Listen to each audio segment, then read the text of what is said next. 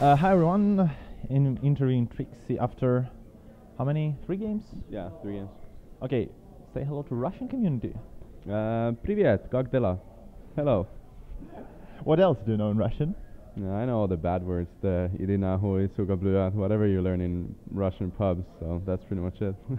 all of your teammates know such words, or, or just Notail and you? I think it's not telling me most, but I think everyone knows most of the words as well. So you, we play pubs, you know, you click English and uh, Russian language preference, so you get to know all these new languages.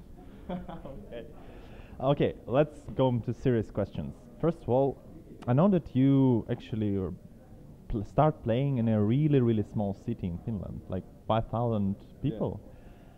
How did you come to the pro stage? I mean, there was no like public ladder matchmaking or anything. How did you come up to such high level from such a small city?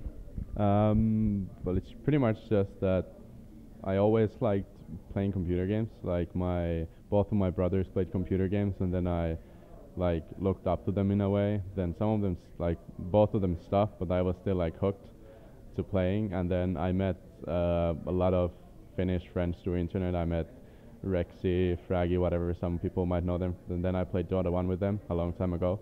And then doesn't matter where you're from pretty much if you if you're good at a game and you play through the internet you can be from a big or a small town so that's pretty much it So it was basically like public games that you started meeting people. And how did you meet international friends? um, well it was pretty much like first you meet people uh, well back then let's say 2005 2006 whatever I met people through IRC because that's how you found Dota 2 Dota 1 games I meant. You joined an IRC channel and then you did an in-house from there. And then I happened to be an okay player I guess. So then I managed to get into the international in-house leagues like IHCS Dota Invite and then some others as well. And then didn't really make the biggest name out there in Dota 1 but I still think most of the uh, pros back then knew who I was but I wasn't really a known player but then pretty much when I got big I guess was during uh, Heroes of Newerth Yeah, yeah. so then yeah so then yeah Uh, okay, do you have now some closed, like Scandinavian community? Um, not really. I think the in-house league communities died with Dota 2 and even Heroes of Newerth. And then what we have right now is just a bunch of Finnish friends that I've played with for 10 years or so. What about the new generation of players? Do you have someone that will replace you and other known players from the Scandinavian region? I hope so. I, I know there's a lot of players from from uh, Sweden and whatnot, but then from Finland, the problem is the Finns, for some reason, they don't want to form a team, or or if they form a team, Finns are kind of like Russians, so they just fight each other, and then they get into internal conflicts, and then the team disbands. So that's the problem with Finns, and then Finns are pretty bad at making a name for themselves in a way. So even if someone's really good, they're not gonna make like a big fuss about it. They're not gonna try to approach anyone to maybe making a team and whatnot. So that's why you don't see really Finnish like other top players, I guess, in these events, in, of me. Um, do you think that you were sitting at home so much because of it's cold outside, and that's why you're like sitting and playing Dota, and that's why you became so good? Uh, I don't think so. Maybe I, I don't know. I was. It's still like summer is so like warm everywhere. So during the winter it's always cold. But then I don't know. For some reason I always liked staying home, just playing computer games. Didn't really. When I when we got our first um, ADSL or whatever you call it, like broadband internet, th- that you could play really well with. You pay w- once per month, and then you can, you know, then you can surf as much as possible. So then that's pretty much when I became a no life guy. I just sit, I just sat in my home in a small town and uh, yeah, play computer games, and that's pretty much it. Do you work somewhere? Because I read that like half year ago you were working all like full time. Um, wasn't half a year. It was like maybe a year ago. Like what I had at some point was uh, when we weren't as good as we are, kind of like ri- right now. I don't think right now there's time to do anything ex- except play Dota. So if you're like if you're playing at the international, you don't really have time.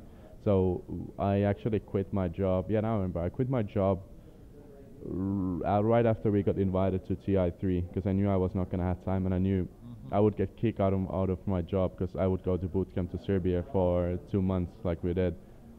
So, and I was actually studying back then as well. So at one point I was playing Dota, I was studying, and I was working.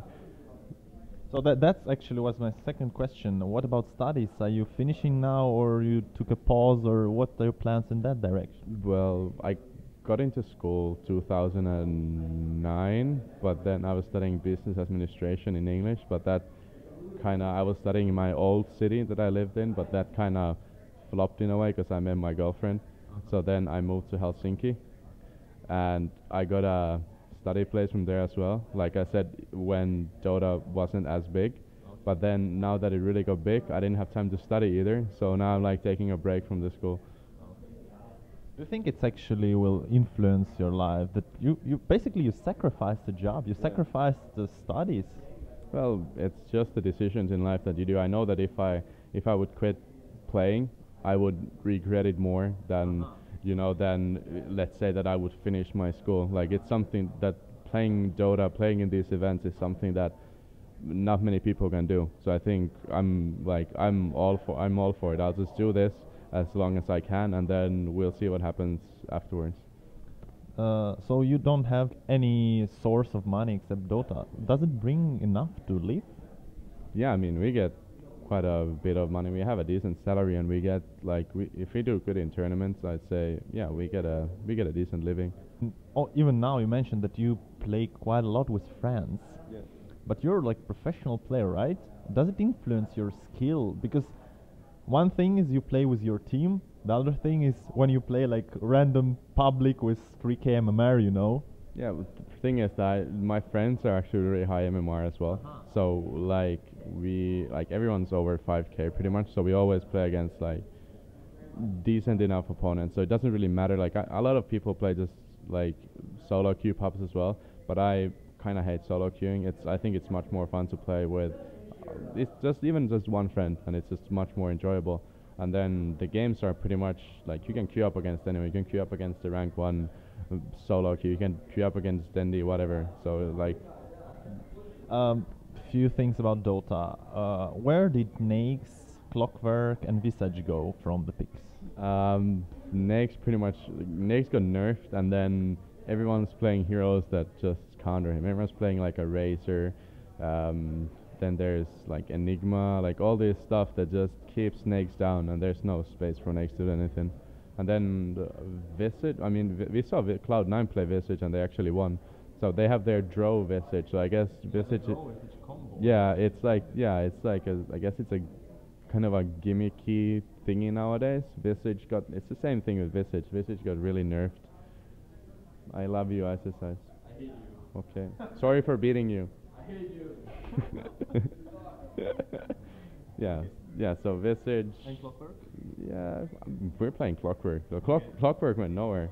Um, you mentioned also that you don't like to play solo matchmaking because it's boring. You like to play with friends. Yeah. Do you still play like only with friends now, or what do you think about solo matchmaking system in general? Um, well, sometimes if I don't have, if I happen to go online, I'm bored. Then I like I don't have any friends around, or if I have friends that I know I don't want to play with because they're terrible.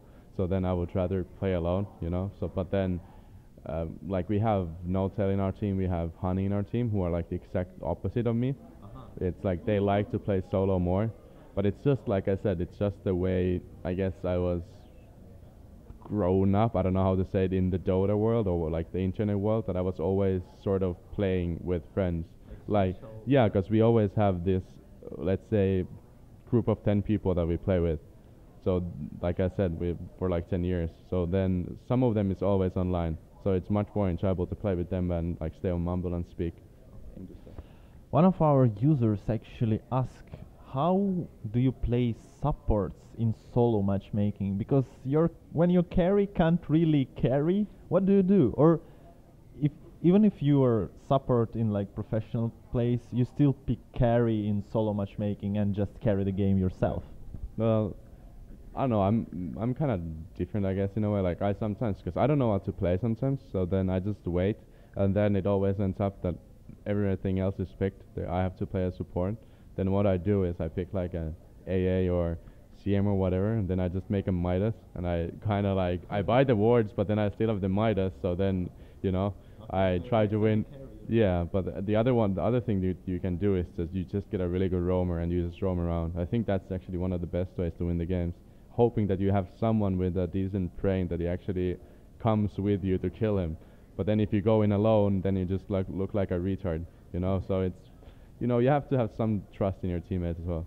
Uh, did you have any cases where you hated your opponent or your teammate so much that you can like hurt him like physically? Every time someone picks Tinker or Void in public game, I just want to go to their door and just punch them in the face because it's like the most boring shit ever any anyone can pick. Uh, how do you control yourself in a very long match so you don't get too stressed, you don't start making lots of mistakes? I'm for me, it's kind of I'm really a calm person, I guess. So I don't really, I don't really. I mean, I get stressed, but I kind of know, kind of the feeling that I know that I'm getting stressed. So I know it's like I'm doing things with like without thinking. You know, then I just need to calm down, and then I'm actually I actually think I'm probably the guy in the team as well that would just say to people that's just like chill, li- like just fucking chill. You know. So then Last time you had seventh, eighth place at the international. What is your expectation now? Um, well, I think everyone's first goal pretty much right now is to get top eight because the prize pool is so top heavy in a way. So if the difference between top eight and top nine is like so big, so everyone's aiming for pretty much top eight. That's like uh, everyone. Uh, that's our first goal as well. But of course, we come here to win. Hani wanted to move to the United States last after last international. Uh, did this change during the year, and does he have a girlfriend still here? Uh, I don't know. It's kind of a private matter, I guess. But they broke up, and they were kind of, how would I say it? They were kind of fighting really roughly in the room, and I was with them in the same room while they were fighting. So I think it's better they're separated now. But I mean, now she's with an Australian girl, and she's actually coming here. And then after this event, they're going back together to Australia for like Kai is going there for a vacation. So we'll see. The, we'll see what happens with that one. You also mentioned that you don't like the treatment to the players as like stars or something like that. Uh, how is it on this international where it's ten million dollars? You know, do you feel the same like when you go everywhere, around treating you as a star? Mm, I don't know. I think it's still like it feels weird in a way, but I guess I understand it as well. But it's like I don't really mind if someone gets happy for that I like sign their stuff if I take a picture with them. So if I can make someone happy so simply, then why not do it? Um, about Era, a few words. Do you feel that after he took so long break and he came back to Dota, he's now actually playing better because he relaxed and now he's back in shape and he's owning. Yeah, I mean it's. I mean he was. He's always played uh, really good. He always plays um, certain heroes like really well. Let's say like strength heroes. And the good thing about right now is that the meta is so much about tanky heroes, strength heroes. So we can abuse this fact as well. And those are pretty much like maybe a core of our strategy as well that we like to do nowadays. Do you think that this rest helped him or Um, it's really hard to say. Like I said, I I think he always played good. So you had four days to prepare for the international with him? Can you evaluate it or rate from one to ten? um, the first day we played was terrible. The second day was terrible, and third and fourth were really good. So we had progress, and then we come here and we beat DK Navi, but then we sadly lost to Navi US. But then like we can pretty much beat anyone there is, so it's all good. There is an opinion that other four players except Era, they actually improved quite a lot because first you need to adapt to Excalibur, then adapt back to Era, and that that's why you actually started to adapt to your opponents. Uh, do you feel something like that? Um, I sort of can agree to. What what happened when we played with um, Excalibur was that we he kind of had one role that he could play. He could play the middle role, and then he could play, let's say, a handful of heroes. So then, so then we would have to like draft our lineup according to what he had. But then we would also have to switch our roles. So sometimes I would be playing role one, or I would be playing uh, off lanes. Like we could have uh, Notail playing like uh, position one, but then one game he could be like five or four, whatever. So then it's like we had to mix up really much. So in a way, yeah, I guess it really helped us as well. Um, Era is here with family. What about you guys? Do you miss your family? And do you think that it actually distracts him a bit from the team? It makes him a bit like distant from the team. Um, in a way, but we also we kind of made the rules when he came into here. I mean, we're playing for 10 million of tens of mil, like a 10 million dollars. So then I un- I think he understands that like we're here to play and get the money. So it's good for him if we do real, really well as well. So we just made rules that like we have to stick to team. We have to like stick together, try to be as much together as possible. And then we, if we have off days, if we have like a long break, then like people can chill with their families and whatnot. And then about the first question, yeah, I mean, it was the same as the last summer. I haven't really spent the summer with my girlfriend like ever yet. So then it's always like kind of sad when it's the, like pr- pretty much the best time in Finland. But then you know it's it's what Dota is. So Didn't you think to take her here? Why? um, she she's working, so like she can't really come. But she was at EMS though, so. Did she like the experience? Yeah, it was okay. Yeah, she like she likes the players. Like she we've we've been to. I mean, yeah, she was in Thor as well, which we won. So that was the first time she met our like the players that we're playing with. And I mean, she's watching like games and everything. She's following Dota, right? yeah, yeah, she was like my fangirl pretty much, like uh, from HoN. So I mean, that's how we met. Okay, you've met her like a f- on some tournament. No, no, no, no. She contacted me through internet, and that's how we met. Okay. really nice. Did you talk about HoN on the first date or? no, I can't remember anymore. I I think we just she actually came to uh, Rexy's place when we were having a LAN, like of this bunch of people, and then we went out drinking and just had a lot of fun. Uh, coming back to a bit serious questions, information about Era, and then uh, Fnatic responses back, and all this like miscommunication. Why did you think it was even possible? Why did it happen? Um, pretty much what happened was that it was just we handled, like from our part, we handled the one meeting we had with Adrian just badly, and then Adrian felt like he was sort of like kicked, even though he wasn't really kicked, or he like he just like felt like felt out, and then he sort of overreacted in a way and sent that uh, email to Valve and then like just from there everything was just terrible. Because then later on he actually realized that he overreacted. And then what valve did as well was just like all, all they had was pretty much that one email that adrian sent which like sort of makes them look like they did their job in a way like in a way it is like that but there's still like so many so many sides to this story but it's like i really don't really even want to get into it pretty much Do you think it was fair, the final decision of Valve? Do you think it was fair? um, like it's hard to argue. Like from our perspective, when we know what actually happened, I say no. But from an outside, like from an outside, it's hard to argue against it. Uh, if you had a choice, your girlfriend or winning TI for, what would you choose? Why do you Why do you ask these questions? Um, I can take half, and I take half of my girlfriend. So it's half and half. I can live with that. What hamburgers are better, European or American? European. Yes, Americans are too fatty.